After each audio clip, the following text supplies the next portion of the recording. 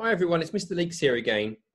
Um, today, before we start reading the, the next text, we're going to look again at some of those key words that hopefully we can understand the meaning of, um, but also make sure we spell them correctly. Now, by now, you should be um, quite good at using the range of strategies um, that we've looked at to to check up on unfamiliar words independently.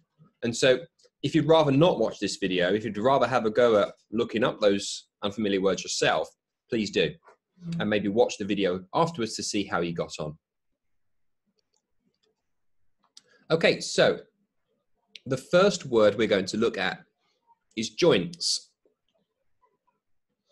And just as before, if we simply type the word into our search engine, we can see immediately um, some information which is around a joint is between two bones. And so I'm just going to check on WordHippo, which is the preferred website for looking up the meaning of unfamiliar words, certainly for children. And here we are. Um, it's the plural of the word joint. And if I click on that, it shows you it's where two components of a structure join. Okay, so a joint. The next word we're going to look at is competitive. Now again, I'm going to use my breakdown and repair skills and I can see this word that almost looks like competition. So it may have something to do with competition. So let's take a look.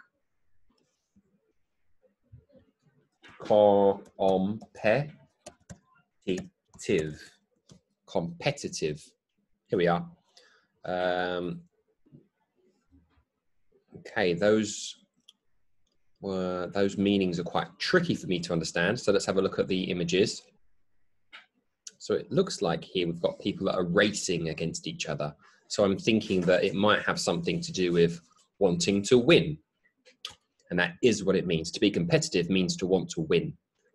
Um, motivate. So let's have a look at that word. Motivate. Here we are. To provide someone with a reason for doing something. Okay.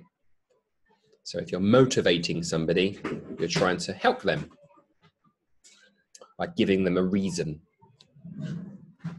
The next word is unique. U N I Q U E. It's quite a tricky word, that. So let's have a look on WordHippo this time. Unique. Q U E. Okay, so something that is unequaled or unmatched. Hmm, is rare. Okay, I do know what that means. It's a rare quality. Okay, so I'm thinking unique might mean rare. Routine. Routine. Routine. Routine. Okay, those pictures don't really help me. Uh, but I do know, ah, here we are. This is actually quite useful. It shows you lots of pictures of what you can do in a day. And a routine is a sequence of actions that are regularly followed. So a routine is something you do regularly in a sequence. Very Okay, I know how to spell very, V-E-R-Y, but this isn't that word. This is very. So it's V-A-R-Y. Okay, to differ in size. Something changes, it varies. Okay. And then finally, persuade. Persuade. Let's have a look at WordHippo this time. Persuade.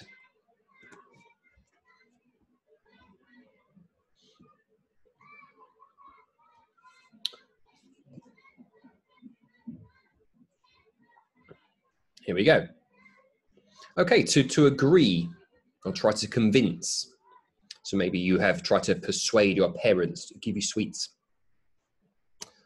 And that's it. So now we understand those words. Try to remember the spelling, but more importantly, the meaning. And as you read the text, hopefully you'll have a better understanding.